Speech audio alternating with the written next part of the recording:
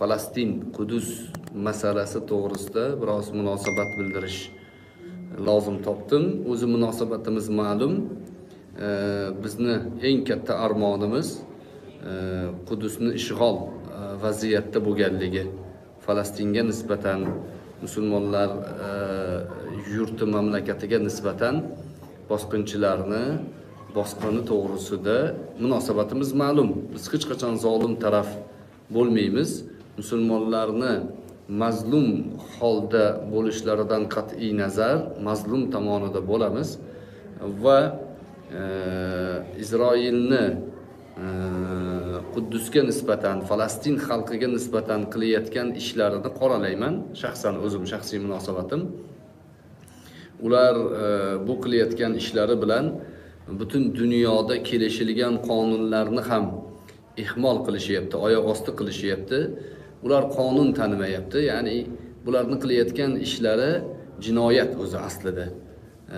Bir boshqa e, mamlakatga mamlakatning chegarasiga bostirib kirishyapti va ayniqsa e, urush madaniyatiga ham noloyiq shaklda ishlar qilishyapti. Namozda turgan ibodatda turgan xalqni masjidiga qarab bomba otishyapti.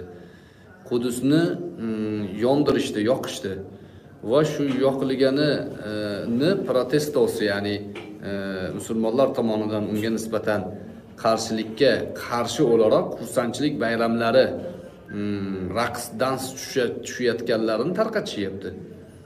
E, buni qoralaymiz. Musulmon xalqimiz e, butun dunyo bu haqida hozir e, munosabatini bildiryapti. E, jinoyat tarafdori bo'lmaymiz. Ularga qarshi ekanligimizni e'lon qilamiz. Shu bilan birga ba'zi provokatorlar ham orada yo'q emas e, har xil gap so'zlarni tarqatishyapti. O'zlarini yuzlari ko'zlari e, yo'q kimligi noma'lum. Troll profillar orqali e, undoq qilishimiz kerak bundoq qilishimiz kerak deyishyapti. Ularga ham qo'shilmaymiz. Chunki undoq qilish kerak bundoq qilish kerak degan odamlarni E, qiliqlari oqibatida yana musulmonlarga zarar ehtimollari bor. Ularni oldini olishimiz kerak. Sokin e, vaziyatda e, holatni to'g'ri tahlil qilish va munosabat bildirishlik bilan o'zimizni pozitsiyamizni aniqlashimiz kerak. Va albatta biz musulmon o'laroq qo'limizda hozir duodan boshqa imkoniyat yo'qmi? Duo qilishimiz kerak. Chunki duolar ijobat bo'ladigan soatlarda turibmiz. Alloh subhanahu va taolo duolarimizni ijobat qilsin. O'zi odatda qorong'ilik o'ta e, kuchayib ketsa qorong'ilik kuchayganda aniq bilingki tong yaqinlashyapti. Iplar qattiq tarang tortilganda aniq bilingki uzilmoqchi ip u shuning uchun hozir qorong'ilik e, tongga yaqin vaziyatda iplar tarang tortilgan inshaalloh uziladi bu iplar va inshaalloh mazlumlarning ham ko'chasida bayram bo'ladi. Zolimlar qilgan zolimligi uchun hali ko'z yosh to'kadi. Falastinda bo'layotgan vaziyatga alloh taolo o'zi najot bersin. Ba'zilar aytyapti falastinga borsak bo'ladimi? Nima qilasiz borib borib nima qilamiz? Bahona topib berishimiz mumkin. Misol uchun falastinga borib shunga o'xshagan narsalarni e, haligi qonun asosida bo'lmasa ana terroristlar kirib kelyapti deb bahona qilib urishi mumkin. Ishidni kirgizib suriyani qanaqa portlatishdi? Xalqni oddiy xalqni. O'shanga o'xshagan bahonalarni kutib o'tirganlar ham bor. E, provokatorlarni savollari ko'pincha shu falastinga borsak bo'ladimi? Boravering. So'ra nima qilasiz mandan man o'zim bormayman chunki borganim bilan u yoqqa borsam u yoqdagi odamlarga e, yordam berish e, imkoniyatimiz yo'q. Balki xalaqit qilish imkoniyatimiz bor. E, lekin shu bilan birga meni vazifamni man qo'limdan kelgancha duo qilaman va pozitsiyamni bildiraman. E, undan tashqari e, butun dunyoda bunga nisbatan munosabat bildirilyapti. Jinoyatni oqlamaymiz. Jinoyatga qarshi ekanligimizni e'lon qilamiz va bu jinoyatchilarga e, haddingni bil deymiz va bizni hozir suyanadigan robbimizdan boshqa suyanchig'imiz yo'q va bu suyanchiqdan rozimiz alloh subhanahu va taolo qur'oni karimda sizlar e, Alloh zolimlarning qilayotgan ishlaridan g'ofil deb o'ylaysizlarmi degan. Bu ba'zi odamlarga aytadi-ku, nimaga sen gapirmayapsan, nimaga undoq qilmaysan, bundoq qilmaysan deydiyu Shuni boshqacharoq varianti shu. Alloh subhanahu va taolo buni Qur'onda bayon qilgan. Sizlar Alloh taolo ko'rmayapti deb o'ylayapsizlarmi? Zolimlarga e, ya'ni e, kuchi yetmaydi deb o'ylayapsizlarmi? yamudduhum fi deydi Alloh taolo Qur'onda. Zolimlarni tug'yonlarida biroz uzaytirib qo'yadi hayotlarini. Tug'yonlarida ozgina cho'zilib turishadi. Lekin oqibatda baribir zolim mag'lub bo'ladi. Buni buni biz bilishimiz kerak. E, tahajjudlarda, Ramazon kechalarida, iftorliklarda, farz namozlaridan keyingi duo ibodatlarda duoning ijobatligidan umidvor holda duo qilishimiz kerak hozir vazifamiz shu. Va alloh subhanahu va taolo albatta najot beradi. Har yili ramazoni sharifni shu kunlarida quddusda falastinda shunaqa problema bor har yili. Man istoriyamda qudus haqida she'rni 2017 yilda qo'ygan ekanman. 2017 yil. Istoriyada kecha 3 kun oldin chiqdi. Xuddi shu kunlarda. Ya'ni o'sha paytlarda ham shu voqea bo'lganda o'sha she'rni o'qib qo'ygan ekanman. Hozir yana 3 yil o'tdi yana shunaqa bo'lyapti. Qudus haqida man o'sha paytlarda e, video ham qildim. Alohida yana bir qilish rejam bor.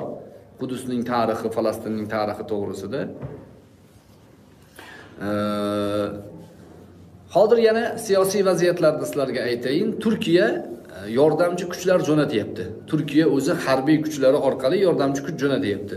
Man avval siyosiy tahlillarda ba'zi gaplarni aytgan edim esinglarda bo'lsa. Bu siyosiy tahlillarda kelajakda turkiya e, falastinni himoyasi uchun isroil bilan urushish ehtimoli bor. Shunga olib boryapti hozir. Endi turkiyada hozir ichki problemalar borda muammolar. O'sha problemalar agar o'rniga kelib qolsa turkiya jiddiy muomala qilish rejasi bor. Chunki turkiya hozir qo'rqmayapti. E, o'sha e, ya'ni pilotsiz Э, haydovchisiz э, dron harbiy qurollari bilan э, bemalol gapiryapti ko'p joylarda. Ya'ni ko'p e, holatlarda inshaalloh nusrat yaqin deb o'ylayapman. Alloh taolo zolimlarga o'zi kifoya qilsin.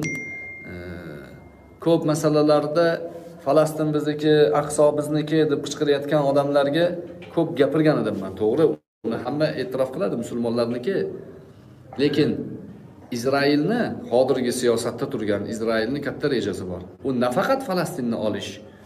Izroil hozir misrni iordaniyani suriyani kelajakda turkiyani ham olish rejasi bor. Ularni e'tiqodida harakatida bor. Ularda o'rta sharq projesi degan o'rta sharq proyekti bor.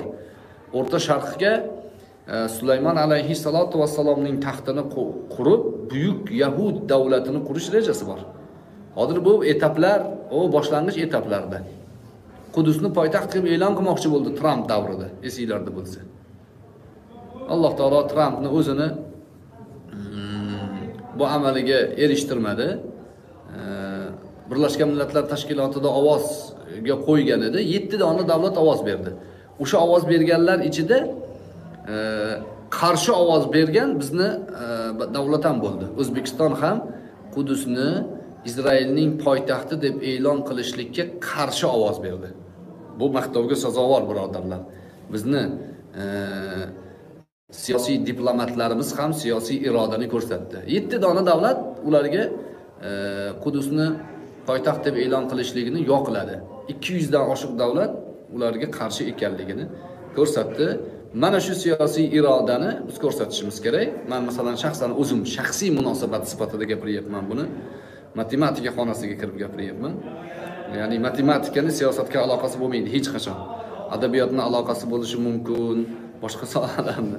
Lekin meni siyosatga aloqasi yo'q. Matematika xonasida gapiryapman buni. Va munosabatimiz shu.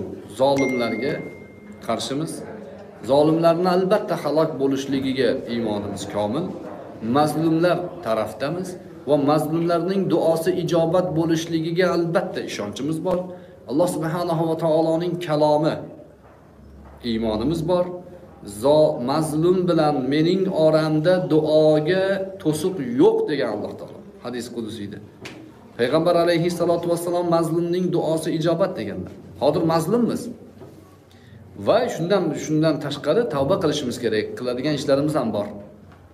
Bir birimiz bilan qirpichoq bo'yotibmiz kecha qadr kechasi dedik bir soat omini jahriy aytish maxfiy aytish masalasida bitta mishiqni vaqtimizni oldi. Mana shular mana shular agar to'xtasa qiladigan ishlarimiz bor bizni islom ummatiga islomni to'g'ri tushuntirib dinimizni to'g'ri tushuntirib mm, mazlumlikdan chiqib zolimlarga haddini bildiradigan vaqt e, bor inshaalloh. Bunga iymonimiz ham komil. Alloh taolo hech qachon tarix mobaynida zolimlarning g'alaba qilganligini ko'rsatgani yo'q insoniyatga. Biroz biroz ular maishat qilib o'tirdi. Biroz. Alloh taolo buni qur'onda aytdi. Fi ya'mahun dedi. Ozgina tug'yonlarida o'sha chuqurlashib turadilar harakat qilib turadilar. Lekin alloh taolo zolimlarning qilayotgan ishidan g'ofil emas. G'ofil emas. Alloh ularni bilib turibdi. Biz safimizni belgilab bismillah deb duoni qilib e, mazlum tarafda turib zolimga qarshi ekanligimizni bildirishimiz kerak. Qisqaroq munosabat edi iftorlikka yaqinlashib qoldik. Alloh taolo tutgan ro'zalarimizni dargohida qabul qilsin. Ramazon sharif ham o'tib ketdi mana. E, ramazoni sharifda shaytonlar bog'langan lekin insoniy shaytonlarni e, jittirlashi kutilayotgandi o'zi. Chunki insondan bo'lgan shaytonlar ham bor. Ular ramazoni sharifda shayton qilolmaydigan ishni qilishlari kerak. Ana shulardan biri ko'zga ko'rindi mana. Masjidul aqsoni yoqishdi. E, bu ularning e'tiqodlarida bashorat go'yoki. Lekin biz aniq bilamizki musulmon mazlum dunyoni qaysi burchagida yurgan yotgan bo'lsin e, inshaalloh nusrat yaqin xotirjam iymonimiz xotirjam bunga va safimiz aniq. Hech qachon bunday jinoyatchilarga hamroh hamkor va e, tarafkash bo'lmaymiz. Subhanakallohumma va bihamdik. Nashhadu an la ilaha illa anta va nastag'firuk va natubu ilayk. وآخر دعوانا أن الحمد لله رب العالمين. السلام عليكم ورحمة الله تعالى وبركاته.